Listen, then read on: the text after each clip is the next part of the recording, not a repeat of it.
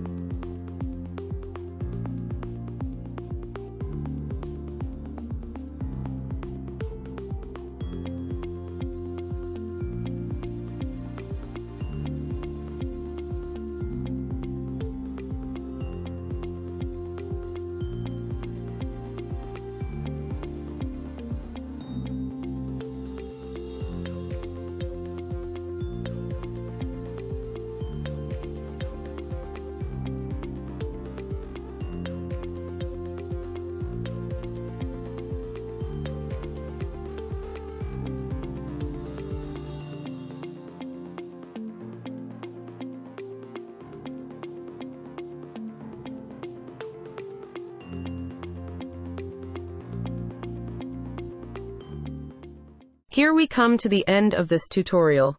Thank you for watching.